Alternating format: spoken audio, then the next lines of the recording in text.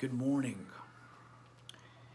This uh, gospel is really challenging to me today because um, sometimes you, you know you can really get interested, or at least I do, in what it will be like when the Lord returns. You can almost hear that in the voices of the Pharisees um, who were always testing Jesus, and his own disciples are probably looking. They're thinking of the kingdom in a way that we can often think of it. Um, as a physical kingdom. You know? And uh, one day there will be a sense in which that is true, but right now the kingdom is a person. You know, this is a very personal statement about our faith. The kingdom is ultimately God, and in the person of Jesus Christ, Him and His body. That's the kingdom.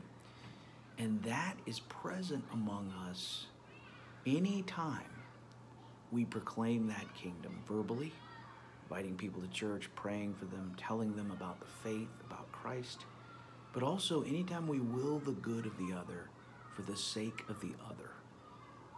Authentic love. Anytime those acts of authentic love are done in Christ's name, the kingdom is present. You know, so often the kingdom's standing right in front of you, right? Or at least the call to the kingdom to love that person that might be difficult or the kingdom uh, is something that you receive in, in an act of love from another person, or the kingdom is a discussion about prayer or about Christ or maybe about difficult things and how God is present in them. That's how the kingdom is present. And I think the focus should not be so much on trying to figure out what it's going to be like when Jesus comes back, but on fulfilling the Lord's prayer in our lives.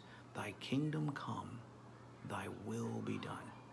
Anytime God's will is done, the kingdom is there because His will is perfect love. His will is His Son.